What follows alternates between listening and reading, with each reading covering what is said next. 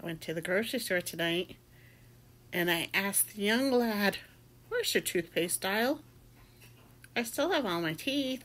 I just wanted to whiten them up a bit.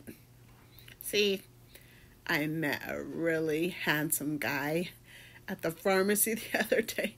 It was such a sweet story. We were both reaching for the hemorrhoid cream at the same time, and our hands touched. I said, Do you have anal fissures too, by chance? He giggled. he said, I do. and then we both just knew we were meant for each other. See, I've been a widow for 75 years now, and I've always dreamt of meeting Mr. Right again. Well, I finally did. We use the same brand. We both have the same bumps in our butts.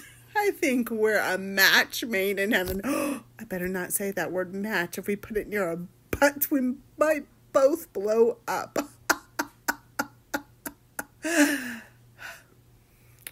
I'll be back with an update soon, sweetheart. See you then.